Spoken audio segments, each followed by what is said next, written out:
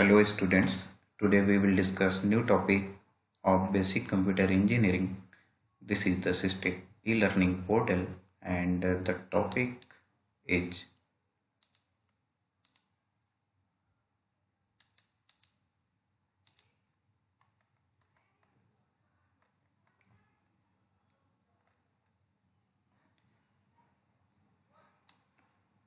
lesson plan number 44 uh, yesterday we have discussed cyber stalking, logic bomb, hacking, spamming, cyber deformation, forming, and we have already discussed security measure firewall. Today we will discuss computer ethics, good practices, introduction to cyber law. This is the main topic of the today's lecture. Okay.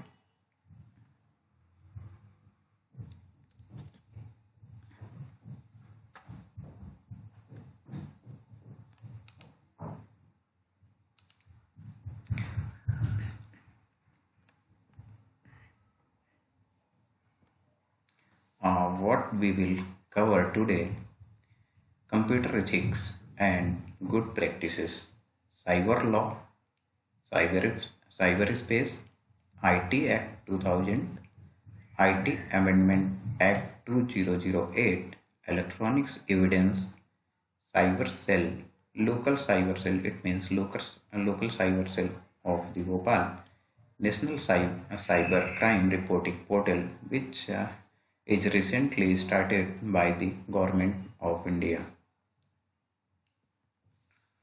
Uh, this is the computer ethics and good practices. We should uh, remember all these 10 points for the good practices and for the computer ethics. Please uh, see this all the 10 points and this is taken from the 10 the 10 commandments of computer ethics. Thou shalt not use computer to harm other peoples यहाँ पर computer ethics में आपको ये बताया गया है कि computer में को यूज़ करने के लिए हमें किन एथिक्स का पालन करना चाहिए? जैसे कि हमने अगर कंप्यूटर यूज़ किया तो उसको किसी दूसरे पर्सन दूसरे व्यक्ति को कोई भी नुकसान पहुँचाने के पर्पज से ना किया गया हो। हमें ऐसा कंप्यूटर का इस्तेमाल करना चाहिए। हमें कंप्यूटर के थ्रू कोई भी किसी की पर्सनल इंफॉर्मेशन पर्सनल डेटा नहीं चुराना चाहिए, ये भी कंप्यूटर एथिक्स में आता है। कंप्यूटर के थ्रू दूसरे पर्सन को हमें ब्लैकमेल नहीं करना चाहिए, किसी दूसरे पर्सन की लाइफ में इंटरफेयर नहीं करना चाहिए। ये भी कंप्यूटर के कंप्यूटर के एथिक्स में आते हैं। सॉफ्टवेयर की पायरेसी नहीं करनी चाहिए, हमें सॉफ्टवेयर का इलीगल यूज़ नहीं करना चाहिए। ये भी कंप्यूटर एथिक्स में आते हैं तो these all ten point should be remember next on this is the today's main topic cyber law and cyberspace we will discuss in a short what is cyber law and cyberspace and uh, next we will discuss some acts of the IT 2000 what is cyber law cyber law is the law governing cyber space. Cyber law होता है जो cyber space के द्वारा चलाया जाता है तो यहाँ पर साइबर स्पेस के लिए बनाया गया है। तो ये है क्या मेनली साइबर स्पेस? तो साइबर स्पेस, आप सभी जानते हैं कि साइबर स्पेस हम किसको बोलेंगे? कि इसमें क्या क्या चीज़ें आती हैं? देखिएगा इसमें कि साइबर स्पेस में it includes computer software data storage data storage की बात यदि मैं करता हूँ तो डेटा स्टोरेज में वो सभी डिवाइसेस जो डेटा को परमानेंटली स्टोर करती हैं। जैसे आपकी हार्ड डिस्क हो गई यूएसबी ड्राइव्स हो गई एक्सटर्नल आपकी ड्राइव्स हो गई, आजकल यूज़ होती हैं हार्ड डिस्क एक्सटर्नल हम उसको बोलते हैं क्लाउड स्टोरेज हो गया मोबाइल स्टोरेज है डिजिटल स्टोरेज ये कोई भी फॉर्म जो डिजिटली डेटा को स्टोर करता है, ये साइबर स्पेस के अंतर्गत आते हैं। इसमें अदर थिंग्स हो गई नेटवर्क्स आपके ईमेल्स इंटरनेट वेबसाइट्स जो आप यूआरएल यूज़ करते हैं mobile and cellphones ATM machines, spy gadgets, छोटे जो आजकल गैजेट्स अवेलेबल हैं मार्केट में, बहुत छोटी डिवाइसेस अवेलेबल हैं, वो स्पाई के पर्पज से बनाई गई हैं। And internet protocol based devices, जो आईओटी डिवाइसेस आजकल मार्केट में अवेलेबल हैं, वो भी साइबर स्पेस के अंतर्गत आती हैं। नेक्स्ट, साइबर साइबर के बारे में बताऊँगा। इसके पहले हमने जो प्रीवियस दो लेक्चर थे आ, इसके पहले उसमें हमने साइबर अटैक के बारे में देखा था डिटेल में और साइबर अटैक्स कितने प्रकार के होते हैं। कई सारे साइबर अटैक्स हमने कवर किए थे। यहाँ पर देखिएगा साइबर। कभी कभी क्या है साइबर लॉ जो है उसको समझने ही बहुत बड़ा चैलेंज का काम है। इसमें बहुत सारे टर्म यूज़ होते हैं जैसे cyber forensic cyber security cyber law anatomy of cyber attack. ये सभी साइबर से रिलेटेड टॉपिक हैं और इसी में बहुत बार कंफ्यूजन रहता है कि what is the cyber forensic what is the cyber security what are the cyber law anatomy of cyber attack तो मैंने इसके पहले आपको साइबर अटैक बताया कि कंप्यूटर में या तो डायरेक्ट और इनडायरेक्ट कंप्यूटर में अटैक करना वायरस के थ्रू स्पाई के थ्रू ट्रोजन के थ्रू ये साइबर अटैक कहलाते हैं।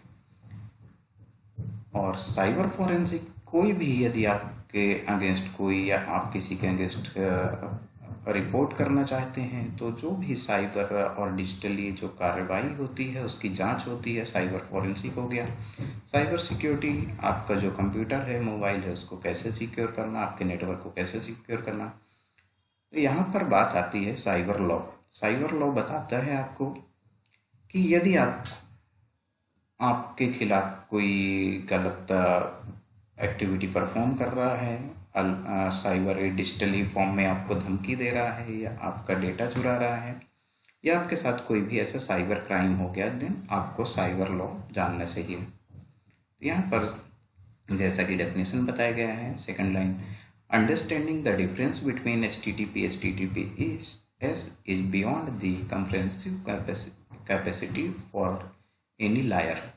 lawyer जो होते हैं, उनके लिए यही समझना बड़ा चैलेंजिंग का काम होता है कि एच है क्या और एच एस है क्या? यदि वो टेक्निकल बैकग्राउंड का बंदा है टेक्निकल बैकग्राउंड का पर्सन है तो उसको ये टर्म समझ में आते हैं कि एच क्या है एच एस क्या है कंप्यूटर इंजीनियर्स को बट लॉयर्स के लिए समझना यहाँ पर टफ होता है। और हमें कंप्यूटर साइंस इंजीनियर या इंजीनियर को यहाँ पर यह समझना टफ होता है कि साइबर लॉ क्या होते हैं। तो हमें इन दोनों में आपस से सिंक्रोनाइजेशन बैठा के रखना चाहिए। हमें सभी टर्म बहुत क्लियर होने चाहिए।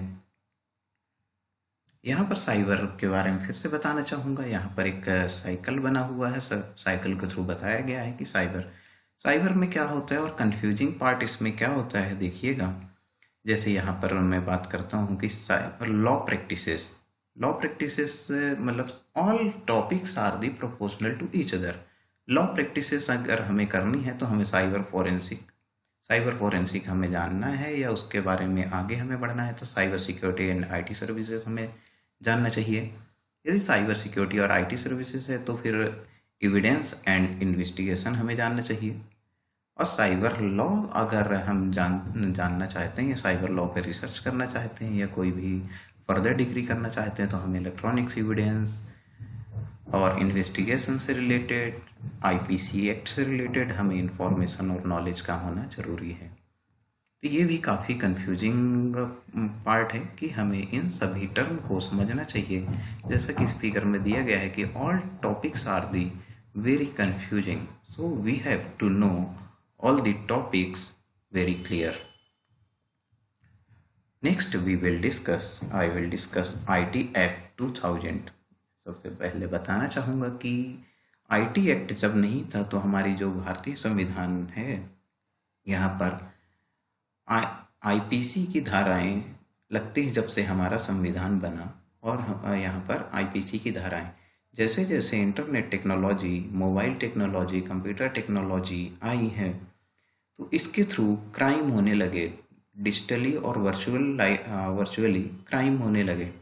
तो जो ऐसे क्राइम थे, उसके लिए आईपीसी में ऐसा कोई भी रूल नहीं था जहाँ पर कि किसी को कानूनन सजा दिला सकें। तो जैसे जैसे इसमें क्राइम हरासमेंट बढ़ने लगा ब्लैकमेलिंग बढ़ने लगा और फॉर्मिंग बढ़ने लगा तो फिर नया कानून पारित हुआ और नया कानून IT act IT information technology का कानून है, जो ईयर 2000 इसका नाम एक्ट 2000 इसलिए पड़ा क्योंकि ये सेवनटीन ऑफ़ मे 2000 में ये कानून बना था और ये कानून पास हुआ था। इस कानून को जिस अथॉरिटी ने अडॉप्ट किया, उसका नाम है यूनिसेट्रल यहाँ पर United Nations commission international trade law तो यहाँ पर देखिएगा, the information technology act is the second law in India governing the field of technology. And the first law was Indian telegraph act. Indian telegraph act जो था, वो कोई भी IT services जो थी टेक्नोलॉजी सर्विसेज़ को वो फॉलो करता था, उसमें सभी रूल्स और एक्ट्स बनाए गए थे सेक्शंस बनाई गई थी बट यहाँ पर जो आईटी इंटरनेट और कंप्यूटर टेक्नोलॉजी है, इसके लिए जो लॉ होने चाहिए थे, वो नहीं बने थे। जैसे ईमेल के लिए लॉ बनना चाहिए था, वो नहीं बना। मैसेजिंग के लिए बनना चाहिए तो वो नहीं बना। तो उस पर जो भी मॉडिफिकेशन संशोधन करके संविधान ने नया एक्ट लागू किया और इसका नाम डाला आईटी एक्ट 2000 इसके बाद इसमें अमेंडमेंट बिल और अमेंडमेंट इसमें ऐड किया गया इन ईयर 2008 इसको और मॉडिफाई करके तो यहाँ पर देखिएगा I T act two thousand is for administrative civil issues criminal and penal what are the basic objective of IT Act 2000 please see this. To provide legal recognition for transactions. यहाँ पर ये बताया गया है। आईटी एक्ट के objective बहुत है। मैंने यहाँ पर दो तीन पॉइंट्स कवर किए थे। कि क्या क्या है आईटी एक्ट में? का ऑब्जेक्टिव था कि टेलीफोनिक इंटरनेट कंप्यूटर मोबाइल इसके थ्रू जो भी क्राइम हो रहे हैं, उस क्राइम को किसी न किसी आईटी एक्ट के सेक्शंस में उसको इंक्लूड करना और उसके लिए क्या पनिशमेंट होनी चाहिए, वो सभी आईटी एक्ट में बताए गए हैं। मेनली जो सबसे ज़्यादा जो क्राइम्स होते हैं, वो किसी को हरासमेंट करने के लिए होते हैं। या तो क्राइम होते हैं किसी के बैंकिंग ट्रांजेक्शन्स में फ्रॉड करने के लिए चीट करने के लिए। सबसे ज़्यादा आई टी एक्ट ऐसे क्राइम को कवर किया गया है। यहाँ पर। तो यहाँ पर जैसे बताया गया it carried out by means of electronics data interchange and other means of electronics communication commonly refer to as electronics commerce ठीक है? इलेक्ट्रॉनिक्स कॉमर्स जहाँ पर ट्रांजेक्शन्स और लेन देन की बातें होती हैं। यहाँ पर जैसे यहाँ पर देखिएगा to facilitate electronics finding fielding filling of documents with government agencies and e payments to am the Indian panel code Indian evidence act जो हमारा इंडियन एविडेंस एक्ट था आईपीसी जो बना था इंडियन एविडेंस एक्ट वो 1872 में जो बनाया गया था, उसमें जो जो जो भी उनको एम में रखते हुए यहाँ पर फिर से मॉडिफिकेशंस किए गए और अलग अलग कानून बनते गए इंडिया पे। यहाँ पर मैं आईटी एक्ट में कुछ सेक्शंस मैं डिस्क्राइब करना चाहता हूँ। बहुत सारे सेक्शंस हैं इसमें। मैं कुछ मेजर सेक्शन आपको डिस्क्राइब करके बताना चाहूँगा। उसमें उनके इंग्रेडिएंट्स क्या होने, होते हैं और उनमें पनिशमेंट कितनी होती है और कैसे हमें इसके बारे में जानना है, देखिएगा। डेटा डेट लिंक इसका मतलब होता है चेंजिंग डेटा प्रायर और during input into a computer data date link मतलब क्या है इसमें कि कंप्यूटर में जो इनपुट लिया जा रहा है, उसको पहले ही चेंज कर देना, या तो इंटरमीडिएट स्टेज पे चेंज करना। और ये तभी पॉसिबल है, यदि कोई क्रिमिनल माइंडसेट का पर्सन है, वो तभी करता है, या तो कोई हैकर इसमें करता है। तो इसमें जो I T act two thousand की section number sixty six and forty three D ऐसा बोलता है कि act covers the offences of data dealing यहाँ पर सेक्शन से जो अप्लाई होती हैं, ये होती हैं पेनल्टी होती है no exceeding R S one crore not exceed इतना गंभीर क्राइम है ये कि एक करोड़ तक मैक्सिमम यहाँ पर जुर्माना हो सकता है।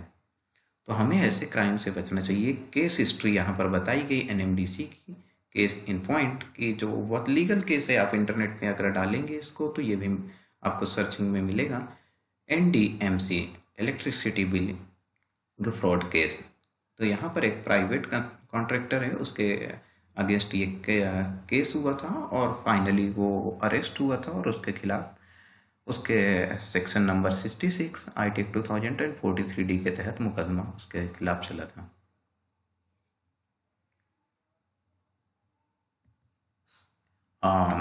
I T act two thousand section number 65 says that the source code uh, it covers the source code what are the meaning of this? Most important assets, asset of software companies बिल्कुल, अगर कोई software company है तो उसका जो main asset होता है, उसका जो मेन धन है, वो सोर्स कोड और उसके सॉफ्टवेयर है। यदि उसका सोर्स कोड चोरी हो गया तो कोई भी थर्ड पर्सन उसमें कोई भी मॉडिफिकेशन करके अपने नाम से सेल करने लगेगा। बैंकिंग का मेन धन होता है मेन असेट होता है पैसा। आईटी कंपनी का मेन असेट असेट होता है सोर्स कोड तो यहाँ पर बताया गया है computer source code means the listing of programs computer commands design and layout ये सभी इस पे कवर होती हैं इंग्रेडिएंट्स इसके क्या होते हैं? नॉलेज और इंटेंशन ठीक है ना? यहाँ पर होते हैं punishment what will be the punishment अगर कोई भी सोर्स कोड में, फालतू में एडिटिंग करता है, किसी का सोर्स कोड चुरा कर बेचता है तो व्हाट आर द पनिशमेंट यहाँ पर सेक्शन नंबर 65 के तहत उसको तीन साल की सजा और दो लाख रुपए जुर्माना, या तो तीन साल की सजा के साथ साथ दो लाख का जुर्माना। इतना बड़ा ये क्राइम है और ये पनिशमेंट है, इसलिए ऐसे हमें बचना चाहिए सोर्स कोड से, चुराने से। Next one is section number 66 says that the hacking इसके इंग्रेडिएंट्स में आपको अपने जनरल लैंग्वेज में बता देता हूँ। हैकिंग में वो सभी कैटेगरी आती हैं, जिसमें हम किसी पर्सन को या पब्लिक को या गवर्नमेंट को या सिविल पर्सन को हार्म पहुंचाते हैं, चाहे तो वो उसका डेटा इंफॉर्मेशन थेफ्ट करके, उसके साथ फिशिंग करके, या उसको, उसके पर्सनल फोटोग्राफ्स या उसके साथ स्पाई करके, उसको ब्लैकमेल करके साइबर ईमेल स्पूफिंग करके या स्पैमिंग करके ये कोई किसी भी तरीके से अगर हम किसी के साथ हैकिंग करते हैं, किसी के साथ हम इस टाइप में क्राइम करते हैं तो उसके लिए पनिशमेंट जो इम्पोज की गई है, वो है अप टू थ्री ईयर तीन साल की उसमें जेल है और fine up to two lakh दो दो लाख रुपए का फाइन है। या तो दोनों साथ में हो सकते हैं या कोई एक। अगर वो मामला गंभीर है तो उसमें जमानत के चांसेस भी नहीं होते। सो so, हमें ऐसे क्राइम से बचना चाहिए। हमें इसलिए आईटी एक्ट और साइबर लॉ की इंफॉर्मेशन होनी चाहिए being engineer next one we have already covered yesterday pornography act this is the IT act 2000 section number 66 says that the if you caught uh, caught uh, caught red-handed in this uh, crime then what is the punishment? There are the punishment up to five year jail and uh, one one year one lakh रुपए penalty यदि आप second time पकड़े गए तो आपको दस साल की जेल और दो लाख रुपए जुर्माना होगा। इसमें जो सेक्शंस कवर होते हैं internet service provider search engine pornography websites इसमें अगर मामला संगीन है तो वो जमानत भी उस पर नहीं हो सकती। यहाँ पर कुछ पॉपुलर साइबर फोनोग्राफी केसेस हैं आप गूगल पे सर्च करते हैं D P S S M M S case काफ़ी लंबा केस चला था और जितने भी विक्टिम्स और क्रिमिनल थे उनको काफ़ी लंबी सज़ा मिली थी इस पर एयरफोर्स बाल भारती स्कूल केस था यहाँ पर दूसरा केस था ये भी बहुत फ़ेमस केस था इंडिया में। Miss Jammu M M S case था ये भी दो, दो केस फ़ेमस था। आप गूगल पे सर्च करिएगा और केस हिस्ट्री इनकी स्टडी कीजिएगा कि क्या क्या पनिशमेंट मिला गया। इसलिए हमें ऐसे साइबर क्राइम से बचना चाहिए जो रिसेंटली सबसे ज़्यादा क्राइम हो रहे हैं। पोर्नोग्राफी और चाइल्ड पोर्नोग्राफी गवर्नमेंट इतनी स्ट्रिक्ट है इसमें कि आपको बचने की संभावनाएँ बहुत कम है। इसको मैं आपको दिखाऊँगा अभी जो गवर्नमेंट ने पोर्टल लॉन्च किया है। ये आता है आईटी एक्ट 2000 सेक्शन नंबर 69 से is the decryption of information ठीक है, इसमें देखिएगा और इसकी पनिशमेंट क्या है। यहाँ पर डिक्रिप्शन ऑफ़ इंफॉर्मेशन है। कि क्या क्या चीज़ें हमें होनी चाहिए। यदि हाँ किसी पर्सन ने इनक्रिप्टेड डेटा रखा हुआ है अपने उसमें, या तो आप किसी के डेटा के साथ छेड़छाड़ करते हैं तो आपको जो सजा होगी, वो सेक्शन नंबर सिक्सटी नाइन के तहत होगी। इंफॉर्मेशन से छेड़छाड़ करना डिक्रिप्ट करना, या उसको फोर्सफुली ब्रूट फोर्स अटैक लगाकर किसी भी तरीके से उसको डिक्रिप्ट करना। तो यहाँ पर person in charge of the computer resource fails to extend all facility and technical assistance to decrypt the information. Punishment up to seven year इसमें सात साल की सज़ा है। इतनी लंबी सज़ा है। इसका मतलब है कि यदि मैंने अपने कंप्यूटर में कोई भी ऐसा डेटा रखा है, जो मेरा प्राइवेट डेटा है और उसको मैंने इनक्रिप्ट करके रखा है या किसी न किसी टेक्नोलॉजी से तो यदि मैं आपका, आपको अपना कंप्यूटर यूज़ करने को लिए देता हूँ तो आपका कोई हक नहीं होता उसको किसी तरीके से डिक्रिप्ट करने का। यदि आप ऐसा करते हुए पाए गए तो आपको सात साल की सजा है। देखिए कि ये बहुत कॉमन एक सेक्शन है। Section number seventy act two thousand का सेक्शन नंबर सेवेंटी कहता है सिस्टम प्रोटेक्टेड और हर दिन ये घटना को अंजाम दे रहे होते हैं। आप आप देखिएगा जिसमें इसके इंग्रेडिएंट्स क्या होते हैं? सिक्योरिंग अनऑथराइज्ड एक्सेस और attempting to secure unauthorised access to protected system यहाँ पर ये बताया गया है कि किसी भी प्रोटेक्टेड सिस्टम को, यदि प्रोटेक्टेड सिस्टम है, किसी ने पासवर्ड डाल के रखा है, जैसे आपकी कॉलेजेस में कंप्यूटर लैब्स में होता है, अगर किसी ने एडमिन पासवर्ड डाल के रखा है तो उसको आप बार बार ही ट्रायल करके या गलत पासवर्ड डाल के ओपन करने की कोशिश करते हैं। यदि उसने पासवर्ड किसी पर्सन ने उसमें कंप्यूटर में डाल के रखा है तो इसका मतलब है कि वो कुछ ना कुछ इन्फॉर्मेशन आपसे हाइड करना चाहता है और कुछ ना कुछ राइट्स आपको नहीं देना चाहता। तो उस केस में अगर गलत तरीके से आप पासवर्ड इनपुट करके एडमिन राइट्स पे आप एंट्री लेते हैं तो ये पनिशमेंट है और इसमें 10 साल की सजा तक होने का प्रावधान है। यहाँ पर देखिएगा कि एक्ट्स क्या क्या कवर करता है। देखिएगा, यदि हम किसी कंप्यूटर को स्विच ऑन और स्विच ऑफ़ भी करते हैं किसी की परमिशन के बिना तो ये भी इसमें आता है। Using, installed software, hardware. यदि उसमें किसी ने अपने पर्सनल सॉफ्टवेयर और हार्डवेयर इंस्टॉल किए हैं किसी कंप्यूटर में तो उसको यूज़ करना, ये भी सेक्शन में आता है। Installing software, hardware. यदि किसी ने पर्सन ने मुझे अपना कंप्यूटर और लैपटॉप यूज़ करने के लिए दिया, मोबाइल दिया है तो मेरा मेरा कोई हक उसमें कोई भी सॉफ्टवेयर और हार्डवेयर इंस्टॉल करने का नहीं बनता। है किसी के कंप्यूटर में पोर्ट स्कैनिंग पोर्ट स्कैनिंग का ऑब्वियस ही मतलब है कि आप गलत इंटेंशन से पोर्ट स्कैन कर रहे हो और पोर्ट स्कैन करके आप हैकिंग को अंजाम देंगे आने वाले टाइम पे। तो पोर्ट स्कैन भी करते हैं तो ये भी एक बहुत बड़ा क्राइम है। तो इसमें जो पनिशमेंट इम्पोज की गई है, वो up to ten year and fine भी है इसमें, ठीक है? यदि वो मामला संगीन है कोर्ट के तहत संगीन मामला पाया गया तो उसमें जमानत भी नहीं हो, नहीं होगी। ठीक है? तो हमें इन चीज़ों का ध्यान रखना चाहिए। यहाँ पर हमने कुछ relevant application of IPC compare किए हैं और उसके रिस्पेक्ट में हमने आईपीसी धाराएँ बताई हैं। तो पहला देखिएगा, जैसा कि हमने कल आपसे डिस्कस किया था sending threatening message by email यदि हम ईमेल के द्वारा थ्रेडनिंग मैसेज सेंड करते हैं तो उसमें सेक्शन नंबर आईपीसी का जो सेक्शन नंबर है फाइव ज़ीरो थ्री इम्पोज होता है। जैसे हमने कभी, हमने लाइफ में कुछ सेक्शन सुने हुए हैं जैसे चार सौ बीस, चार सौ बीस आईपीसी की धारा होती है मतलब धोखाधड़ी करना, चार सौ बीस। तो यहाँ पर फिर देखिएगा दूसरा है sending defamatory message by email तो इसमें जो सेक्शन है, वो है 499 एंड आईपीसी की सेक्शन है 500 next one is forging electronics record electronics record के साथ हम कोई भी छेड़छाड़ या फॉर्जिंग करते हैं तो सेक्शन नंबर आईपीसी की सेक्शन नंबर 463, 471 एंड 470 इसके तहत यहाँ पर केस चलता है उसके पर्सन के खिलाफ। बॉक्स वेबसाइट साइबर फ्रॉड यदि साइबर फ्रॉड भी जितने भी होते हैं धोखाधड़ी गलत तरीके से कॉल आना उसके थ्रू परेशान करना तो इसमें सेक्शन नंबर 420 कवर होता है। ईमेल स्पूफिंग हमने ईमेल स्पूफिंग की कल बात की थी इसमें जो देखिएगा आईपीसी एक्ट के तहत जो मुकदमा चलता है four six three.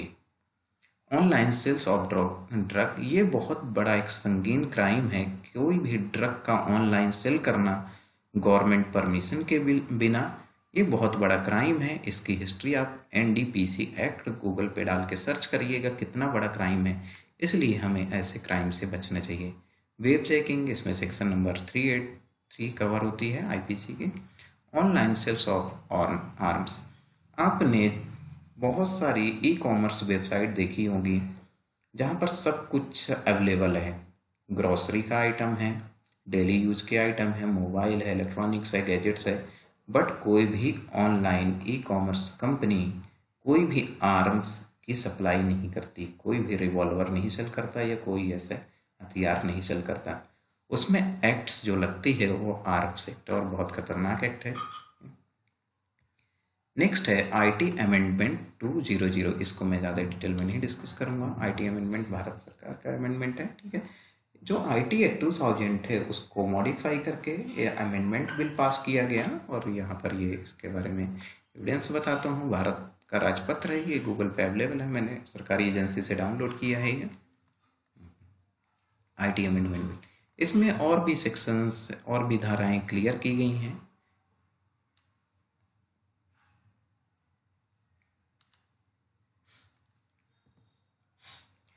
आप ये मोस्ट इंपॉर्टेंट टॉपिक है, आपको बताना चाहूँगा मैं कि यदि आपके साथ किसी भी तरीके का साइबर क्राइम होता है, आपको चाहे अनचाहे में कोई गलत मैसेज कोई गलत ईमेल या कोई इलीगल फोटोग्राफ्स और वीडियो या पोर्नोग्राफी वीडियो कुछ भी आपको सेंड करता है कोई पर्सन तो उसको डिलीट मत कीजिए, अपने मोबाइल से पहला मेरा सजेशन यही है। क्राइम को आपने डिलीट करके क्राइम को खुद बढ़ाना चाहा। उसको फॉरवर्ड मत कीजिए, मेरा सजेशन है कि फॉरवर्ड मत करें, आपने क्राइम को थोड़ा सा रोक लिया अपने तक। लेकिन उसको डिलीट करके आपने फिर से क्राइम को आगे बढ़ा दिया। कि जो क्रिमिनल माइंडसेट के लोग हैं, वो दूसरी, तीसरी, चौथी बार फिर से आपसे वो हरकतें करेंगे और आपने सभी वो मैसेज और मेल डिलीट कर दिए हैं। तो उस केस में जैसे ही आप किसी पुलिस स्टेशन या साइबर जो ऑफ़िस हैं, वहाँ पर आप कंप्लेन करने जाएँगे तो सबसे पहले आपसे प्रूफ मांगा जाएगा कि प्रूफ बताइए। उस केस में आपके पास कोई भी प्रूफ नहीं रहेगा। कोई भी ऐसे लीगल मैसेज धमकी भरे मैसेज या ईमेल स्पूफिंग हो साइबर स्टॉकिंग हो बुलिंग हो, कुछ भी हो, आप तो उसको प्लीज़ डिलीट नहीं करें और उसके एविडेंस संभाल के रखें अपने मोबाइल और अपने कंप्यूटर पे। तो क्या क्या इलेक्ट्रॉनिक्स एविडेंस में क्या क्या चीज़ें आप संभाल के रख सकते हैं? ईमेल डिजिटल फोटोग्राफ्स, अगर आपको किसी ने आपको धमकी भरी फोटोग्राफ्स या इलीगल फोटोग्राफ सेंड किया, उसका एविडेंस बना के रख लीजिए। ट्रांजेक्शन लॉग्स ऑफ़ एटीएम हम कभी कभी एटीएम के ट्रांजेक्शन लॉग हम लोग फिल फाड़ कर फेंक देते हैं, या तो हम कई बार जो हमारे पास मैसेज आता है, उसको डिलीट कर देते हैं। उसको भी संभाल के रखना चाहिए, अगर हमारे साथ कोई भी ऐसे साइबर फ्रॉड हुए। इंस्टेंट मैसेजिंग अगर आपके थ्रू किसी मैसेंजर वगैरह के थ्रू ही है, उसको संभाल के रखिए ब्राउज़र हिस्ट्री संभाल के रखिए डेटाबेस संभाल के रखिए कि आपको किस टाइप के मैसेजेस या क्या क्या डेटा आया है, वो संभाल के रखिए। कंप्यूटर प्रिंट आउट्स हो सकते हैं, इसमें जीपीएस लोकेशंस हो सकती हैं जीपीएस के एविडेंस हो सकते हैं।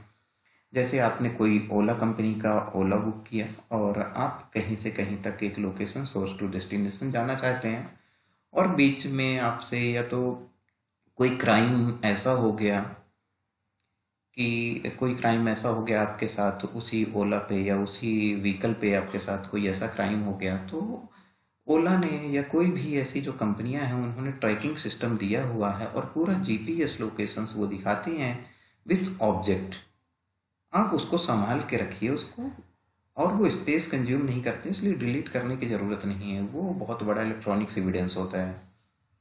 लॉक फ्रॉम इलेक्ट्रॉनिक्स डोर्स आजकल इलेक्ट्रॉनिक्स डोर्स बड़ी बड़ी सिटी और मॉल्स में लग गए हैं, जहाँ पर इलेक्ट्रॉनिक डोर्स या तो आईआर के थ्रू ओपन होते हैं, या तो रेटिना के थ्रू होते हैं, या तो आपके फिंगरप्रिंट के थ्रू होते हैं। उनके लॉक्स भी हमें स्टोर करके रखना चाहिए। आपके खिलाफ कोई भी अगर गलत तरीके से कोई क्राइम का इल्ज़ाम लगाता है तो आप उस एविडेंस को पेश कर सकते हैं। डिजिटल वीडियोज़ आजकल काफ़ी फॉरवर्डेड वीडियोज़ सोशल मीडिया के थ्रू आती हैं, उसको हमें संभाल के रखना चाहिए। डिजिटल ऑडियो धमकी भरे आजकल कॉल आते हैं कभी कभी आप कभी कभी जनरली ये फीमेल्स के साथ ऐसी घटनाएँ होती हैं कि आपने किसी पर्सन को आप कोई परेशान कर रहा है, आपको कोई पर्सन तो आपने उसको ब्लॉक कर दिया या तो आपने उसको रिस्पॉन्स नहीं किया तो वो मैसेज करके आपको परेशान करता है, देख लेने की धमकी देता है, और भी धमकियाँ देता है। ठीक है तो ऐसे एविडेंस को संभाल के रखिए। अगर वो आपको ऑडियो भी, टेक्स्ट, ऑडियो भी फ़ाइल सेंड करता है धमकी भरी उसको संभाल के रखिए डिलीट मत कीजिए। और उसको आप नियरेस्ट जो आपके नज़दीकी पुलिस थाने हैं साइबर ऑफिसेस हैं, उस पर आप ज़रूर रिपोर्ट करें। क्राइम को रोकना हमारा ही अधिकार है और तभी ये सभी क्राइम्स रुकेंगे, नहीं तो टेक्नोलॉजी दिन बाय दिन बढ़ती जा रही है क्राइम भी बढ़ते रहेंगे। तो ये सभी इलेक्ट्रॉनिक्स एविडेंस हमें संभाल के रखने चाहिए। यहाँ पर मैं आपको बताना चाहूँगा साइबर सेल ये मेरे आ, लोकल भोपाल का है। अभी गवर्नमेंट्स ने मैक्सिमम सिटी में एक साइबर सेल इस्टेब्लिश किए हैं। तो गूगल पे आप डालेंगे अपने जो आप, आपके डिस्ट्रिक्ट होंगे कि cyber cyber cell of my district तो आपको शायद वहाँ पर साइबर ऑफ़िस दिखेंगे कि कौन कौन से साइबर ऑफ़िस हैं और कहाँ पर आप मदद ले सकते हैं पुलिस की। ये लोकल भोपाल का है मैंने स्नैपशॉट लिया हुआ है cyber cell. State cyber cell Bhadbhada road, depot square, Shastri Nagar पे है। MP, police, cyber crime cell है, साइबर क्राइम लोकल ऑफ़िस है। तो ये सभी जगह हम, हमें ये अपने मोबाइल नंबर पे स्टोर करने चाहिए, इनके नंबर स्टोर करने चाहिए। कब किसको, कब किस टाइप की ज़रूरत पड़ जाए। लास्ट है अभी हमारी गवर्नमेंट्स ने होम मिनिस्ट्री ने अभी एक न्यू पोर्टल लॉन्च किया है। शायद फरवरी या जनवरी की बात होगी एग्जैक्ट डेट नहीं याद है मुझे। ये है, आप इस यूआरएल को अपने मोबाइल पे सेव करके रखिए और इसको बुक मार्क करके रख लीजिए H T T P S colon slash slash cyber crime dot G O V dot in इसको मैं डिटेल में आपको समझाना चाहूँगा प्लीज़ देखिएगा इसको।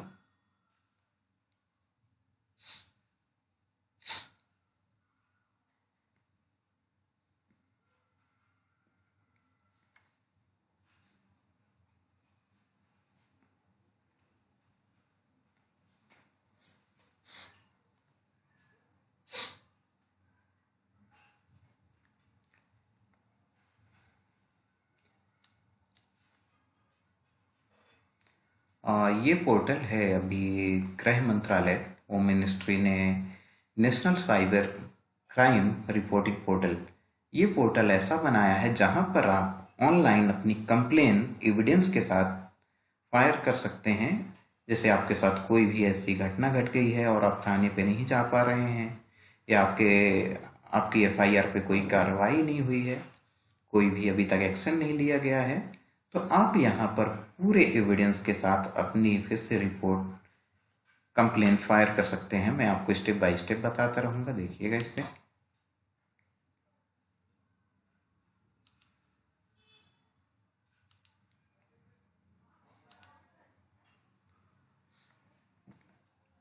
यहाँ पर सबसे पहले मैं ये सभी टॉपिक कवर करूँगा। ठीक है, इसमें दो से तीन मिनट लगेगा। आप देखिएगा। कि क्या क्या चीज़ें होती हैं इसमें साइबर क्राइम पे? विथ ऑडियो क्लिप यहाँ पर बताया गया, ईमेल स्कैम, फिशिंग, यहाँ पर बताया गया मल्टी लैंग्वेज बनाया गया, हिंदी और इंग्लिश में बताया गया है, आइडेंटिटी थीफ्ट हो गया, ये मैंने आपसे ऑलरेडी डिस्कस करके रखे हैं। तो मैं आपको कुछ ऑडियो क्लिप सुनाना चाहूँगा प्लीज़ सुनिएगा। मैं इसको मोबाइल पर प्ले करता हूँ, आप इसको कंप्यूटर में प्ले करिएगा।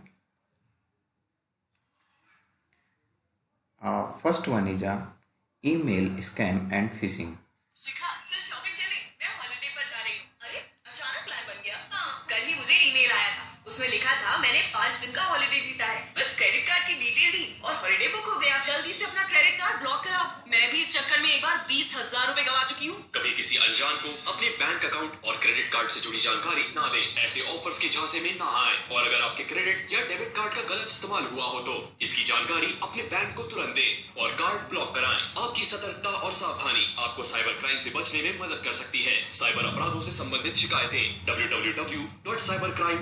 www.cybercrime.gov.in पर दर्ज कराएँ। गृह मंत्रालय भारत सरकार द्वारा जनहित में जारी। शिखा चल शॉपिंग चले। Next one is identity theft क्या हुआ सीता? तुम कुछ उदास लग रही हो? मेरे नाम से किसी ने फेसबुक पेज बनाकर उस पर अश्लील चीज़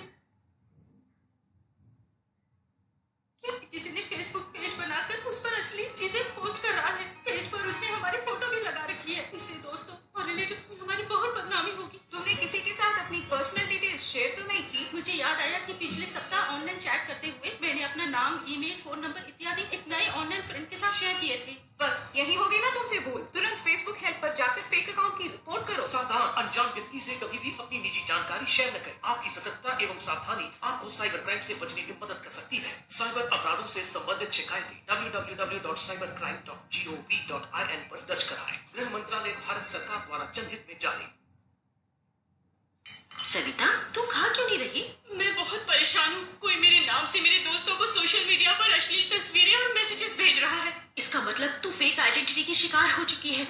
यानी कोई नकली सविता बनकर तेरे नाम से फेक सोशल मीडिया अकाउंट बनाकर इसका गलत इस्तेमाल कर रहा है। ओह! तू घबरा मत। फ़ौरन सोशल मीडिया की हेल्प पर जाकर रिपोर्ट दर्ज कर और प्राइवेसी सेटिंग में जाकर अपने सोशल मीडिया अकाउंट को अनजान लोगों की पहुँच से दूर रख। जी हाँ आपकी सतर्कता एवं सावधानी आपको साइबर क्राइम से बचने में मदद कर सकती है। साइबर अपराधों से संबंधित शिकायतें www.cybercrime.gov.in पर दर्ज कराएँ। गृह मंत्रालय भारत सरकार द्वारा जनित में जारी। पता नहीं मुझे इस ग्रुप में किसने ऐड कर लिया? यहाँ कितनी गंदी चीज़ें लिखते हैं। ये लोग कितने भद्दे फ़ोटोज़ और वीडियो शेयर करते हैं। यहाँ तक कि बच्चों की आपत्तिजनक तस्वीरें और वीडियो शेयर करते हैं। न जाने अश्लीलता कौन फैला रहा है। किसी भी प्रकार की चाइल्ड पोर्नोग्राफी अथवा बाल अश्लीलता देखना या प्रसारित करना कानूनन अपराध है। दोषी पाए जाने पर जेल और जुर्माना हो सकता है। आप चाइल्ड पोर्नोग्राफी अथवा बाल अश्लीलता एवं अन्य अश्लील सामग्री, जैसे कि रेप और गैंग रेप वीडियो से संबंधित शिकायत www.cybercrime.gov.in पर दर्ज कराएँ। साइबर अपराधों से बचाव संबंधित सुझावों के लिए हमें Twitter handle at the rate cyber दोस्त पर फॉलो करें। गृह मंत्रालय, भारत सरकार द्वारा जनहित में जारी। सर मैं बैंक से बात कर रहा हूँ। आपका कार्ड ब्लॉक हो गया। सर आपको लॉटरी के नंबर बता सकता हूँ। मैडम आपने कॉन्टेस्ट जीता है। बस आपकी बैंक डिटेल्स दीजिए। ऑफ़र ये है कि आपको देने होंगे बीस हज़ार रूपए और तीन महीने में आपको मिलेंगे चालीस हज़ार रूपए। फ़ोन और मैसेज पर मिलने वाले ऐसे सभी ऑफ़र स्कैम, फ्रॉड की श्रेणी में आते हैं। बहकावे या लालच में कभी भी ऐसे मैसेजेस, ईमेल व फ़ोन कॉल्स का जवाब ना दें। सावधान रहें और दूसरों को भी सावधान करें। आपकी सतर्कता एवं सावधानी आपको साइबर क्राइम से बचने में मदद कर सकती है। साइबर अपराधों से संबंधित शिकायतें www.cybercrime.gov.in पर दर्ज कराएँ। गृह मंत्रालय, भारत सरकार द्वारा जनहित में जारी सर मैं बैंक से बात कर रहा हूँ। आपका कार्ड ब्लॉक हो गया। सर आपको लॉटरी के नंबर बता सकता हूँ। मैडम आपने कॉन्टेस्ट जीता है। बस आपकी बैंक डिटेल्स दीजिए। ऑफ़र ये है कि आपको देने होंगे बीस हज़ार रूपए और तीन महीने में आपको मिलेंगे चार। आंटी शिखा का है। अंदर बैठी है खाना पीना छोड़कर। कोई उसे ऑनलाइन गलत सलत मैसेजेस भेजता है। Cyber bullying? अरे मैंने तो कहा उससे कि बेटी तू इंटरनेट का इस्तेमाल ही छोड़ दे। नहीं आंटी। इंटरनेट का इस्तेमाल तो करना है लेकिन सावधानी के साथ। जैसे अनजाने मेल्स और मैसेजेस का जवाब न देना। हर किसी को अपनी तस्वीर न भेजना अपना फ़ोन नंबर किसी को न देना। साइबर बुलिंग करने वाले को तुरंत ब्लॉक करना। सोशल मीडिया पर ऐसे अपराध के लिए सोशल मीडिया की हेल्प पर जाकर शिकायत कीजिए। साइबर अपराधों से संबंधित शिकायतें www.cybercrime.gov.in पर दर्ज कराएँ। गृह मंत्रालय भारत सरकार द्वारा जनहित में जारी। क्या हुआ? एक महिला का किसी ने फर्जी फेसबुक अकाउंट बनाया और जाने क्या क्या पोस्ट कर दिया उस पर ऐसे में जिस सोशल साइट पर ये सब हुआ है सीधे संबंधित सर्विस प्रोवाइडर को रिपोर्ट करें। लेकिन कुछ सावधानियाँ बरतें तो जैसे? सोशल साइट्स पर सोच समझ कर फ्रेंड्स बनाएँ। अपना पासवर्ड लंबा और यूनिक रखें। कहीं भी अपनी निजी जानकारी ना दें। हम्म, पर फिर भी अगर कहीं फंस जाए तो तुरंत नजदीकी पुलिस स्टेशन पर शिकायत करें। आपकी सतर्कता आपको साइबर क्राइम से बचने में मदद कर सकती है। साइबर क्राइम से संबंधित शिकायतें www.cybercrime.gov.in पर दर्ज कराएँ। गृह मंत्रालय भारत सरकार द्वारा जनहित में जारी।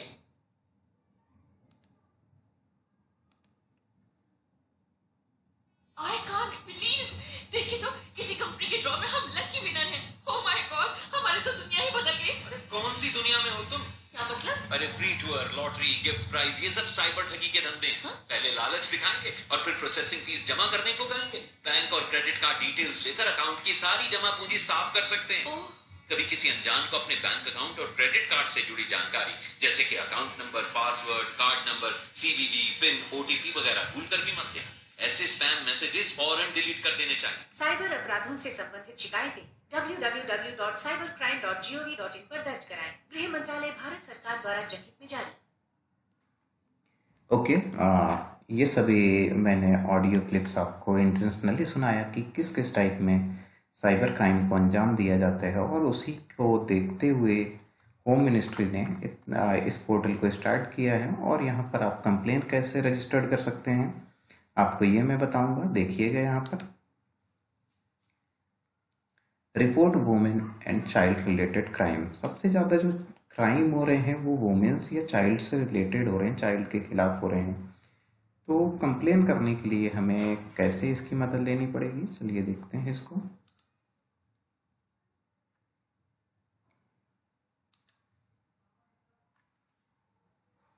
यहाँ पर ये पोर्टल ओपन होगा, सेकंड इसमें। कैसे फ़ाइल कंप्लेन कर सकते हैं आप, देखिएगा। यहाँ पर टर्म्स और कंडीशंस दी गई हैं। टर्म्स और कंडीशंस आपको पढ़ना पड़ेगा। कोई भी आप फेक कंप्लेन नहीं करें इंटेंशनली आपकी किसी से दुश्मनी हो गई है। तो आप उसके खिलाफ ऐसे कंप्लेन नहीं करें। अगर आप भी ऐसे कुछ पाए गए तो आपके खिलाफ भी एक्शन हो सकता है। सो सोच समझ के कोई भी कंप्लेन हमें करनी चाहिए। एक्सेप्ट एग्रीमेंट्स करते हैं पेज को थोड़ा छोटा करता हूँ, देखिए यहाँ पर देखिएगा कंप्लेंट इंसिडेंट डिटेल्स आपको वो इंसिडेंट डिटेल विथ प्रूफ आपको देनी पड़ती है कि सबसे पहले आप क्या सेलेक्ट करेंगे? सबसे पहले आप कैटेगरी सेलेक्ट कर सकते हैं यहाँ पर से।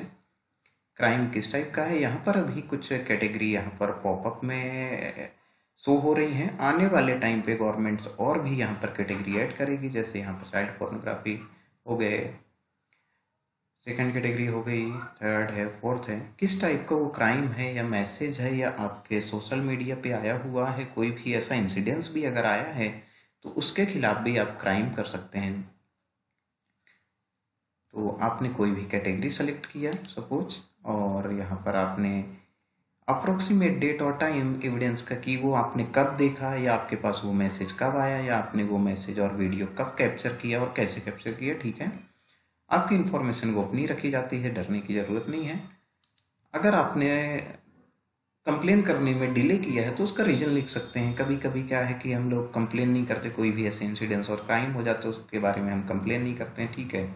एक महीने, दो महीने बीत जाने के बाद वो क्राइम और बढ़ता जाता है, और तब हम सोचते हैं कि इसकी कंप्लेन करनी चाहिए। तो हमें इस चीज़ का ध्यान देना चाहिए। यहाँ पर आप स्टेट सेलेक्ट कर सकते हैं, मध्य प्रदेश मैंने सेलेक्ट कर लिया डिस्ट्रिक्ट सेलेक्ट कर सकते हैं कहाँ कहाँ पर है। हमने भोपाल सेलेक्ट कर लिया। पुलिस स्टेशन ये सभी पॉपअप में ऑटोमेटिक फीडेड है गवर्नमेंट्स में। जैसे आपने टीटी नगर लिख दिया तो यहाँ पर टीटी नगर आ जाएगा न्यू मार्केट एमपी नगर जो आप लिखना चाहेंगे। कि आपका जो एड्रेस है या किस स्थान एरिया पे आपके साथ क्राइम हुआ या आप कहाँ के रहने वाले हैं where did the incident occurs आप बता दीजिए कि कहाँ पर इंसिडेंट कैसे हुए सोशल मीडिया के थ्रू हुए तो ये सभी इलेक्ट्रॉनिक्स मीडिया यहाँ पर कवर कवर होते हैं। Email Facebook Hike Instagram TikTok अब सपोज़ कि मैंने आपको जैसे थोड़ी देर पहले बताया इलेक्ट्रॉनिक्स एविडेंस आप कहते हैं कि ईमेल के थ्रू हुआ। तो आप के पास वो इलेक्ट्रॉनिक्स ईमेल होना चाहिए एज ए एविडेंस और उस ईमेल को ईमेल आईडी यहाँ पर इनपुट कर दीजिए, और उसका एविडेंस आपको यहाँ पर चूज़ करके डालना पड़ेगा। चाहे तो वो इमेज फॉर्मेट में हो स्नैपशॉट लेके डाल सकते हैं पीडीएफ हो, या कोई भी मीडिया फ़ाइल हो, वो आप अपलोड कर सकते हैं एज ए इलेक्ट्रॉनिक्स एविडेंस इसलिए मैंने थोड़ी देर पहले आपसे बात की थी इलेक्ट्रॉनिक्स एविडेंस कितना इम्पोर्टेंट है किसी के खिलाफ रिपोर्ट दर्ज कराने में। तो वो उसको संभाल के रखें। यदि आपके पास कोई एविडेंस नहीं है, तब भी आप इसको फ़ाइल फ़ाइल कर सकते हैं। कोई भी ऐसा एविडेंस बना लीजिए अपने कंप्यूटर पे और लिख दीजिए, और जब भी कभी उसका एविडेंस आपको मिले तो आप उसको प्रस्तुत कीजिए और यहाँ पर यहाँ पर एडिशनली कोई भी इंफॉर्मेशन आपको प्रोवाइड करना है up to fifteen hundred character आप उसको कर सकते हैं। सेकंड सेव करेंगे आप।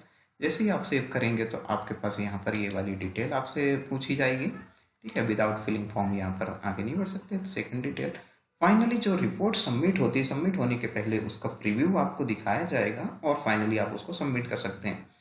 यदि आपने कोई भी रिपोर्ट सबमिट कर दी तो आप उसको ट्रैक भी कर सकते हैं। आपका सबमिशन यहाँ से सबमिट हो जाएगा। यदि आप ये सब चीज़ें इन्फॉर्मेशन फिल करते हैं तो ठीक है। यहाँ पर रिपोर्ट ट्रैक करना दूसरी कैटेगरी है। देखिएगा कि यदि आपने कंप्लेन फायर फ़ाइल किया है तो आप उसको ट्रैक भी कर सकते हैं कि क्या मेरे जो की गई कंप्लेन में क्या अभी तक एक्शन लिया गया है। यहाँ पर टू टाइप्स के लॉगिन हैं। सिटीजन लॉगिन है और अथोराइज्ड अथोराइज्ड लॉगिन का मतलब है क्या है कि ये मेरी रिपोर्ट कहाँ पर जाती है, किस कंसर्न डिपार्टमेंट में जाती है, वो लॉगिन कर सकते हैं यहाँ पर, अपने आईडी और पासवर्ड के साथ आप लॉगिन नहीं कर सकते, यहाँ पर सिटीजन लॉगिन सिटीजन मतलब आप, कि आप पूरा लॉगिन कर सकते हैं, आपने जैसे वो सबमिट किया तो उसके बाद यहाँ पर आप कुछ दिनों बाद या कुछ दिन बाद लॉगिन कर सकते हैं, आपका नाम, आपका मोबाइल नंबर आपको ओ आएगा, आप जो कंप्लेन फायर की है उस नंबर पे और उसके बाद आप यहाँ पर अपना स्टेटस जान सकते हैं। इस टाइप में हमारी होम मिनिस्ट्री है, हम सबकी मदद कर रही है, हमें इसका यूज़ करना चाहिए और होने वाले क्राइम को रोकना चाहिए। रिपोर्ट्स ऑफ़ अदर्स ये भी कर सकते हैं कि मेरे साथ क्राइम नहीं हुआ है बट मैंने देखा कि किसी न किसी बंदे के साथ क्राइम हो गया है। और वो बंदा रिपोर्ट नहीं कर रहा है या वो डर रहा है, या तो वो इतना एजुकेटेड नहीं है कि वो कर सके। किसी पर्सन के साथ हुआ जिसको ना तो मोबाइल टेक्नोलॉजी पता, ना कंप्यूटर पता, ना ईमेल पता, कोई भी चीज़ें नहीं पता। बट आपके पास ऐसा एविडेंस है अपना ऐसा एविडेंस कैप्चर कर लिया है देन आप भी उसके खिलाफ कंप्लेन कर सकते हैं यहाँ पर से। Reports report other cyber crime और किस टाइप का क्राइम है, वो पूरी डिटेल के साथ आप कर सकते हैं। तो लोगों की भी मदद कीजिए। Being a good citizen of India और हमें यहाँ पर सरकार की मदद करनी चाहिए, अपनी मदद करनी चाहिए, अपनी फैमिली की मदद करनी चाहिए और क्राइम होने वाले डिजिटल क्राइम को रोकना चाहिए।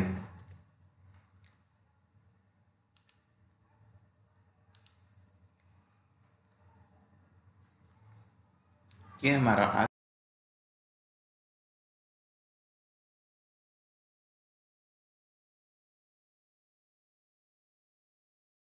आज का टॉपिक था। Thanks for watching next video lecture में हम लोग uh, मिलेंगे और न्यू टॉपिक रहेगा हमारा डेटाबेस डेटाबेस के बारे में जानेंगे डेटाबेस कैसे वर्क करता है ये सभी हम लोग uh, मैं आपसे डिस्कस करूँगा नेक्स्ट लेक्चर पे.